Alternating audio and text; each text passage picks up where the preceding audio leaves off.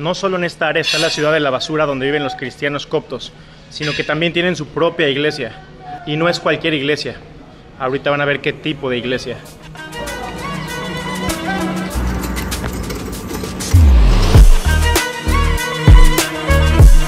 Igual desde aquí se puede ver lo que es la ciudad de la basura, las torres de las palomas, todo el basurero y los edificios y las casas. Es una gran montaña, es una muy, muy, muy grande montaña. O sea, tú no, no te imaginarías que en la ciudad de la basura se encuentra esto, porque esto se ve súper limpio, súper cuidado. Pueden ver todas las banquetas bien pintadas, sin basura. Totalmente diferente, como si estuvieras en otro lugar. Pero das 10 metros, caminas 10 metros y está toda, toda la basura.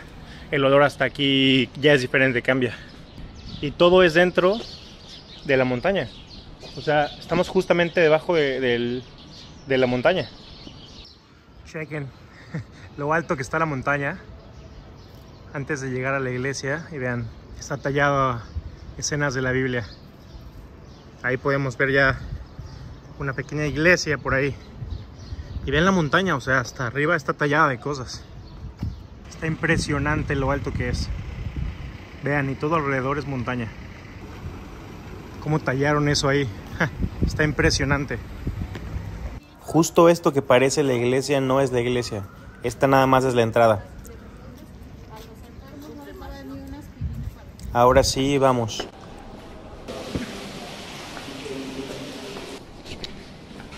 Ok, ya casi llegamos.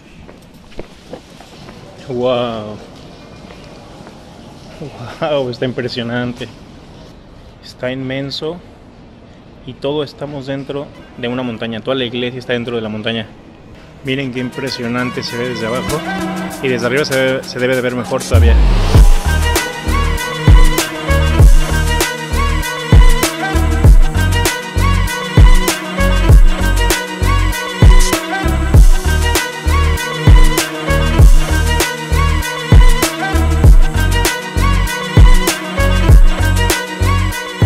Esta iglesia se construyó en los 70 por lo que es algo reciente, pero como lugar de rezo y adoración tiene más de mil años y es muy importante para los coptos cristianos. Se siente muchísima paz y afuera hace mucho calor, pero aquí adentro está súper fresco. Estás dentro de toda la montaña.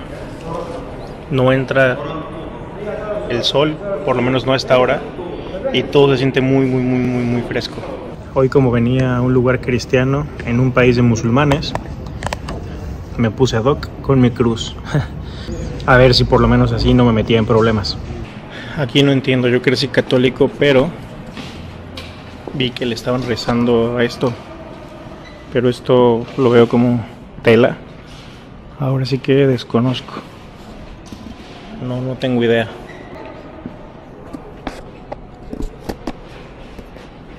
Aquí rezan de una forma diferente.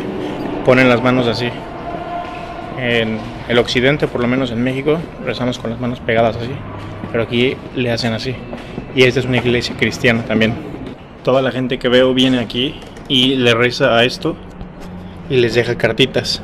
Miren, dejan cartas por aquí. Y está este pedazo de tela. No sé si ese sea San Simon, San Simón, que es el nombre de la iglesia, supongo que sí.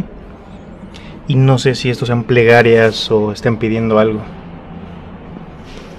Pero todos vienen y le dejan algo a, a San Simon.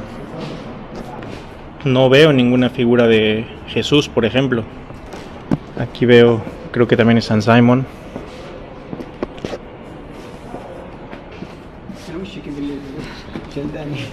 Ah, no, sí, ya encontré a su Señor Jesucristo.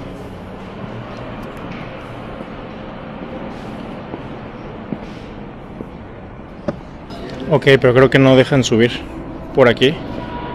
Está cerrado. Y yo quiero ir hasta allá. My friend, can I walk there? No, shukran. Esta iglesia es la iglesia de San Simón y esta historia tiene alrededor de hace más de mil años y en esta época dirigían eh, reglas islámicas en toda esta zona.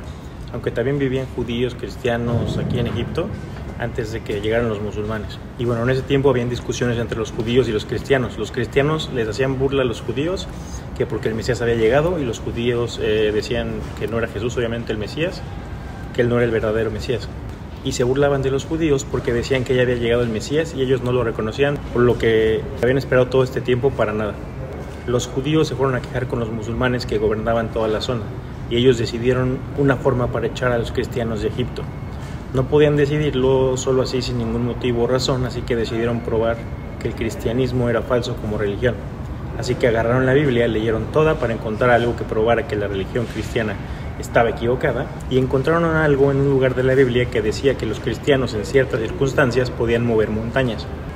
Así que él fue con los cristianos y les dijeron, ok, ustedes hicieron esto con los judíos, ahora yo voy a darles tres días para que muevan Mokatam, que significa montaña, que es justo esta montaña. Y les voy a dar tres días para que la muevan, para probarme que el cristianismo es verdadero.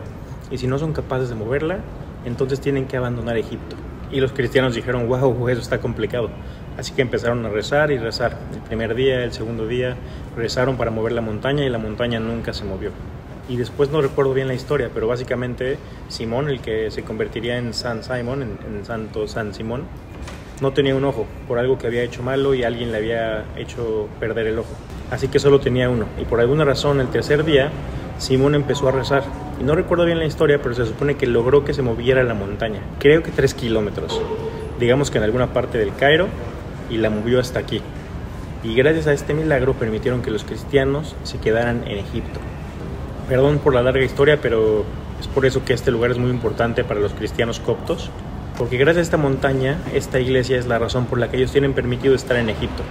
Bueno, eso dice la historia y cada quien se la cree o no. A ver si por aquí puedo ver la iglesia desde arriba.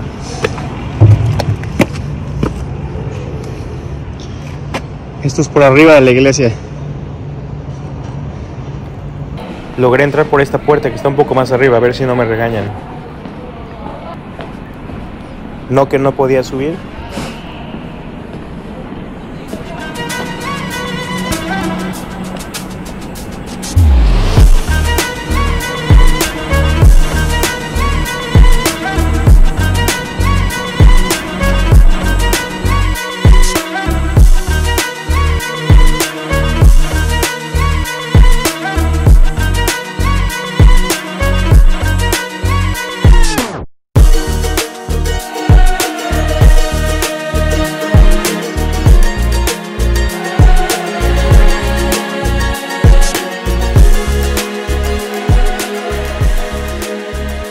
Fue la visita a la iglesia más grande del Medio Oriente y una de las más grandes dentro de una cueva, dentro de la ciudad de la basura.